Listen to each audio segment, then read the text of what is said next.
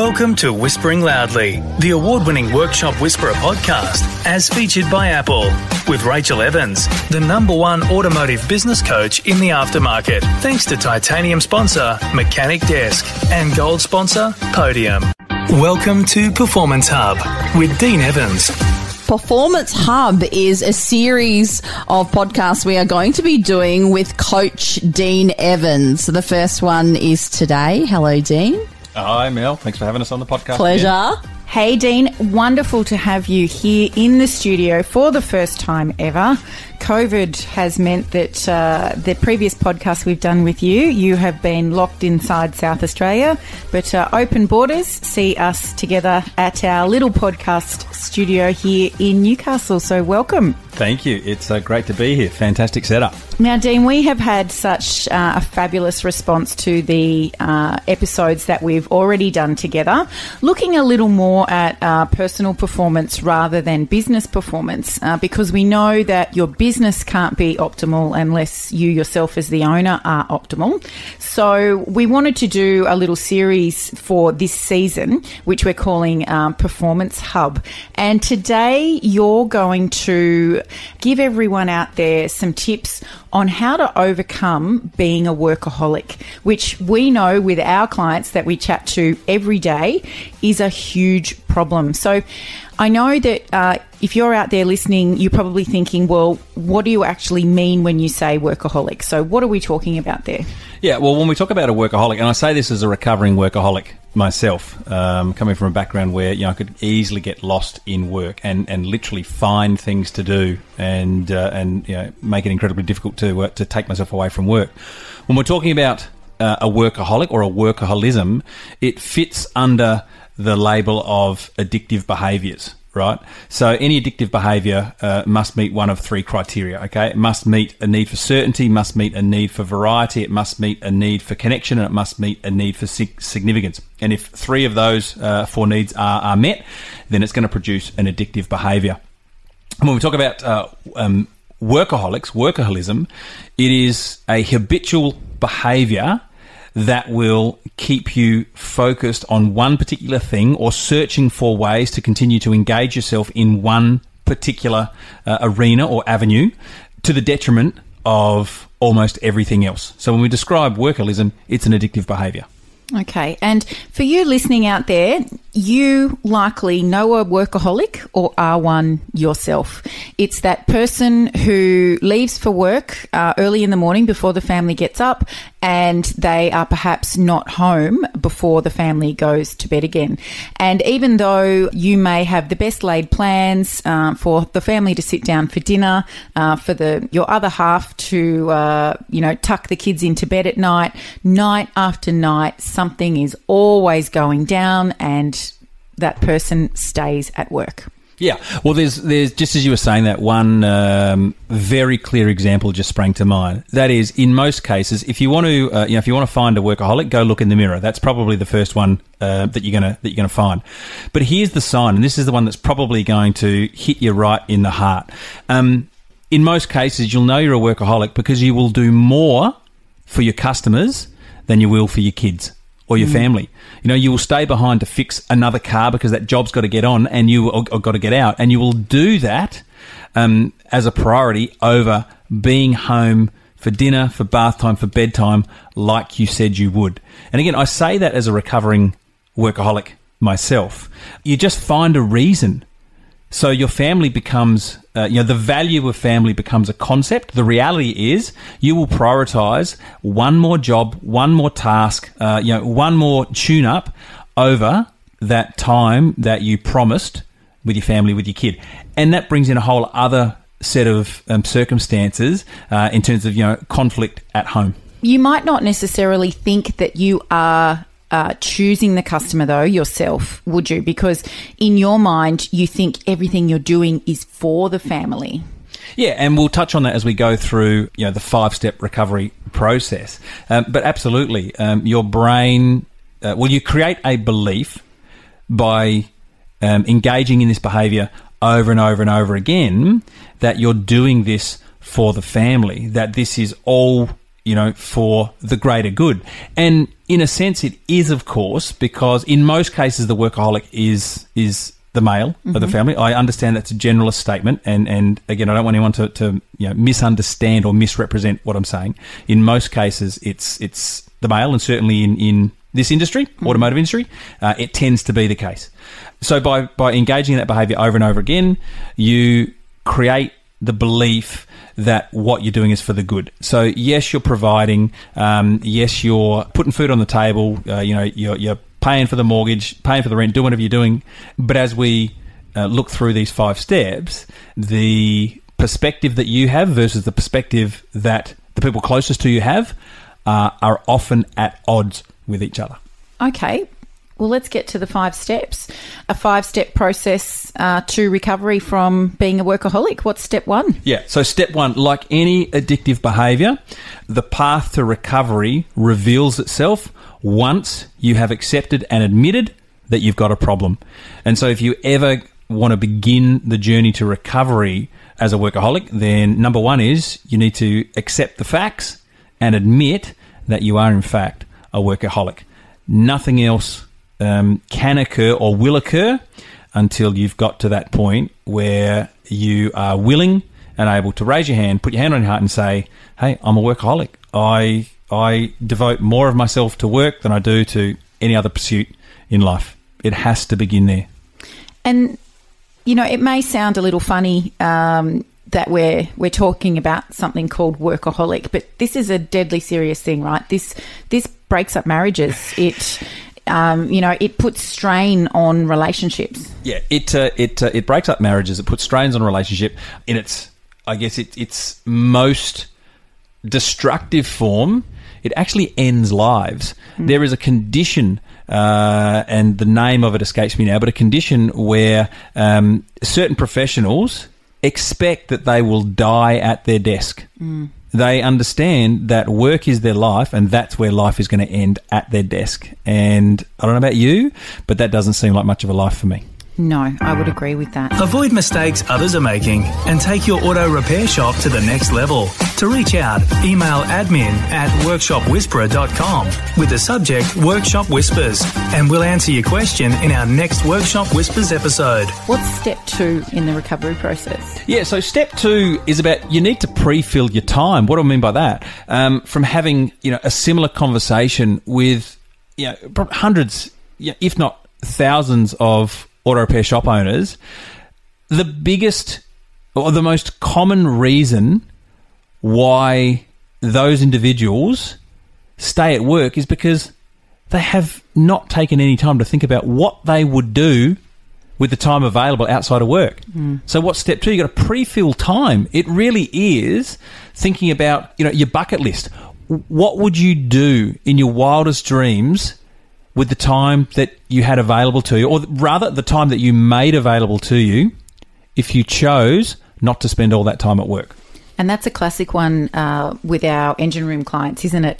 When we're helping them set up a four day work week, the initial resistance to that can be from them because they have no idea what they would do on that fifth day when they would otherwise be at work. They uh, have not allowed themselves to have hobbies, to have time for self care, uh, for catching up with family. They literally have excluded all of that from their lives. Yeah, yeah. They just haven't taken a moment to consider what they could be doing. They do the only thing they know how to do, and in most cases know that they're good at doing, which is work. So that's what they do. What's step three? Step three is fantastic, right? So step three is um, like any detective, you've actually got to review the evidence, right?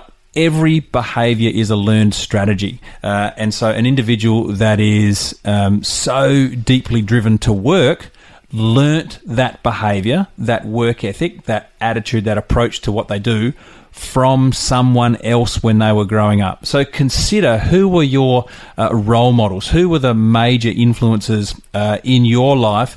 Often before the ages of uh, 12, uh, in many cases before the ages of seven. So, mum, dad, aunties, uncles, teachers, um, you know, people that you looked up to and were a significant influence uh, on your attitude to work uh, and your approach to work in those formative years. And in many cases, well, in fact, in all cases when it comes to addiction, is that any addictive behavior is designed to meet an emotional void. So what does that mean for, for people listening to this now? You probably got a sense of significance, a sense of affection, a sense of attention, or a sense of love from the people who you were looking for validation from uh, in those formative years. So the people that you cared about and and you know, cared about you, um, being rewarded, recognised for your work ethic was a way that you met your need for connection, and so unconsciously your brain went, "Oh, I like the way this feels when people say you're doing a good job." So the job then became do more of that job.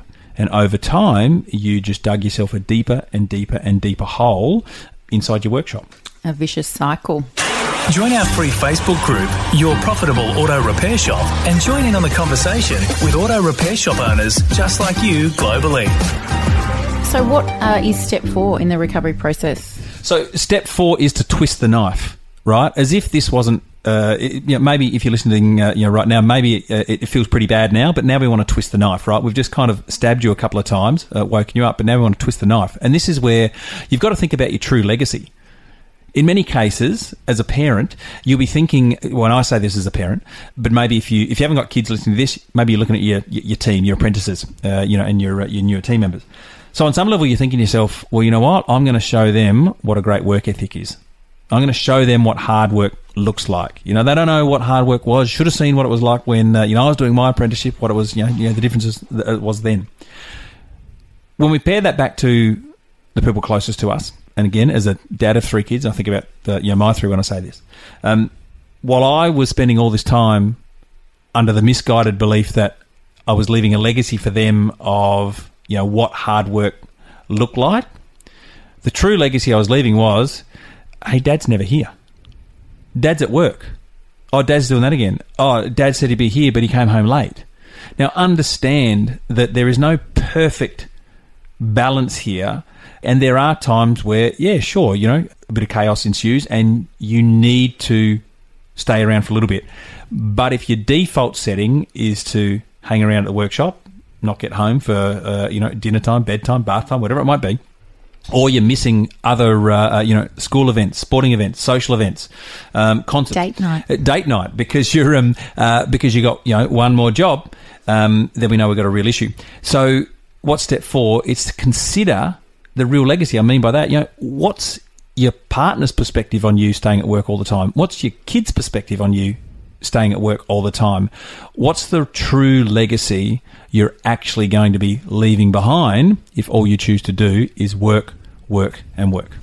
And that was a real eye opener when we spoke to our clients about this. Um, you know, getting the uh, kids' perspective, and some of them had already been freely given their children's perspective, and it was really sad to them to listen to their kids saying, "You are always at work. I, I didn't ask you to come with me to that event because you are always at work." Yeah, and it's interesting because that's where uh, a separation begins. You know, repeated requests from uh, you know your loved ones to uh, to have you join them at certain events, and because over time you prioritize work, they stop asking, mm. and then suddenly here's a communication breakdown. You know, well, you didn't ask me. Well, you, when we did, you never turned up, and here's the anger, the frustration, the irritation created when two people have competing beliefs. Mm. You know, the workaholic feels like they're providing for their family, and those at home, you know, that, that are nurturing that loving, caring family environment, feel isolated, ostracized, separated, um, both believe they're doing the right thing, inverted commas, mm. and yet what occurs is a breakdown of a relationship, breakdown of communication, and the impact that has on a business overall. And, and we've both experienced this. It can be uh, you know, catastrophic. Mm. So, step five to finish us off here with our recovery process for workaholism. Yeah, well, step five should put a, a smile on your face, uh, particularly when I share this example with you. But step five is you've got to make a deal with the devil. And what I mean by that is, um, I can remember um, in previous relationship, uh, quite often we'd end up with a lot of junk in our garage, and you know we would um, devote uh, you know a weekend to getting the junk out of the the, the garage, uh, you know, preparing to, to get rid of it, work out what uh, you know what we needed, what we didn't need, clear out the clutter uh, and the junk, and uh, just put the stuff that we needed back in. But what would happen? We'd take all the junk out. We'd clean the garage, you know, get rid of the cobwebs, sweep the floor, do whatever we needed to do. The garage looked fantastic. We had a nice clean garage, and then we'd just put all of the stuff back in and we'd clear out none of the clutter. So when we talk about making a deal with the devil, that means you have to look at what are all the things that you're currently doing, i.e., saying yes to, that is keeping you locked inside your shop for hours and hours and hours on end. You've got to seriously list down, note down every single task that keeps you there. And then the deal with the devil is that you've got to make a decision on what you will not put back into your day. You know, the smallest task, the biggest tune up, it doesn't matter what it is, you get to decide, but you must decide. You cannot keep doing all the same tasks. That is the true nature of addictive behavior where you justify your behavior because you get you know you get a, a well it's a it's an impermanent positive emotional response to that behavior. So you've got to decide what needs to go and you need to be very very clear on whether you're going to dump it whether you're going to delegate it or whether you're going to delay doing it so that you actually give yourself time, space, and permission to get yourself out of your shop and home to your family and your loved ones. Now, if if you are a workaholic listening to this, is it something that you'd need accountability with to be successful to recover, or do you think that most people, once they realise they're a workaholic, can tackle this? Well, I guess the best way to to well, straight up the answer is this: you know, every elite performer in the world has a coach, and by coach I mean a partner who keeps them accountable for doing the work they need to do to improve the way they perform, behave, and live. Now, does that need to be a paid professional coach? Not necessarily, but there are, uh, just like there are groups for uh, you know, AA, Alcoholics Anonymous, there are groups around the world called WA, Workaholics Anonymous. In extreme cases, if you need to join that group, join that group. Mm. Because most importantly, you need to understand you're not going through this alone. I say this as a rec- recovering you know, workaholic. You're not going through it alone. There's other people that, that you know, have the same addiction, the same affliction as you, um, but you're not broken. Um, you, you, don't need fixing, but some of the decision making um, that you're currently employing needs some fine tuning to give you the freedom to say yes to you. Because mm. every time you say yes to another car, another customer, you're actually saying no to other things in your life. So, to answer your question specifically, a partner, accountability coach, whoever it is, absolutely, to, to help you stay on track, and more importantly, to help you see the signs of um, of regression into you know old addictive patterns. Someone that can point that out and say, "Hey, Rach, you know that thing you do that got you here? Well, it looks like you're starting to do that again. What else could we do?" Yeah, and it keeps you curious and focused on the patterns of behavior, the decisions you make that will lead you to recovery from workaholism. Take a smoko and review us on your Apple Podcast app or wherever you listen we've discovered it's such a big thing, and you know this is why we have training around it uh, for our engine room clients. And if you're out there listening and you realise that this is something you'd really like to overcome because uh, things have gotten way out of control, uh, and you'd like to bring more harmony back into your life, so that you are there for those important events with family and uh, and with your partner, then I encourage you, um, you know, to book in and have a chat with us to see if uh, we can help you with uh, what's going on for you. And that's as simple as uh, going to the web address workshopwhisperer.com forward slash survey, answering a couple of quick questions, uh, and then you can book a time to chat. Dean, thanks so much for sharing that with us. Uh, so insightful, and I know that uh, that's going to be another really powerful episode uh, that our listeners will go back to time and again and likely share uh, with their other half after they've finished listening today. So, if you have a question about your auto repair shop that you would like answered, then please email us admin at workshopwhisperer.com and we will answer your question on one of our next Workshop Whispers episodes episodes. Thanks so much for listening, and we look forward to being with you again next week. Want to find out how the Workshop Whisperer team can put your auto repair shop on the path to business success? Head to www.workshopwhisperer.com slash whispering loudly to claim your free workshop success session with the team.